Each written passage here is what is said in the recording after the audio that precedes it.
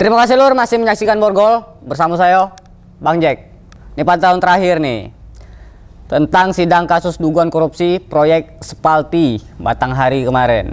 Sidang tiga terdakwa terkait kasus dugaan korupsi proyek pembangunan sistem pengolahan air limbah domestik terpusat atau disebut Spalti pada tahun 2019 silam menjalani sidang dengan agenda tuntutan dari jaksa penuntut umum di Pengadilan Tipikor Pengadilan Negeri Jambi.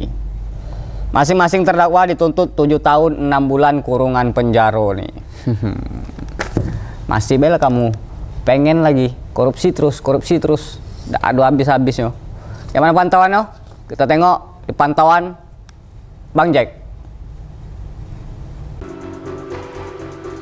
Kasus dugaan korupsi sistem pengelolaan air limbah domestik terpusat di RT 25 Kelurahan Teratai, Kecamatan Muara Pilihan, Kabupaten Batanghari, tahun anggaran 2019 atas tiga terdakwa yaitu Iskandar Zulkarnain, Iman Purwantoro, Muhammad Yuhendi Buyung menjalani sidang tuntutan pada Senin 5 September 2022.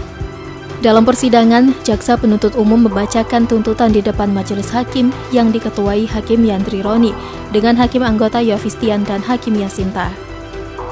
Dalam pembacaan tuntutan oleh penuntut umum, menyatakan terdakwa Iskandar Zulkarnain Iman Purwantoro dan Muhammad Yuhendi Buyung telah terbukti secara sah dan meyakinkan bersalah melakukan tindak pidana korupsi sebagaimana diatur dalam pasal 2 ayat 1 junto pasal 18 ayat 1 huruf A, B, ayat 2 dan ayat 3 Undang-Undang Nomor 31 Tahun 1999 tentang pemberantasan tindak pidana korupsi sebagaimana telah diubah dengan Undang-Undang Nomor 20 Tahun 2001 tentang pemberantasan tindak pidana korupsi junto pasal 55 ayat 1 ke 1 KUH pidana meminta kepada majelis hakim menjatuhkan pidana penjara terhadap masing-masing terdakwa selama 7 tahun 6 bulan dengan denda sebesar 300 juta rupiah subsidi 3 bulan kurungan penjara serta secara bersama-sama membayar uang pengganti sebesar lebih dari 1,5 miliar rupiah subsidi 3 tahun 9 bulan kurungan penjara.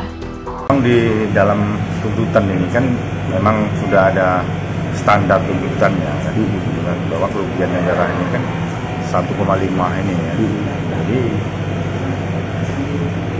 yang jelas para terdakwa ini kan tidak mendukung program pemerintah dalam pemberantasan pidana korupsi. Iqbal, Cek TV, melaporkan.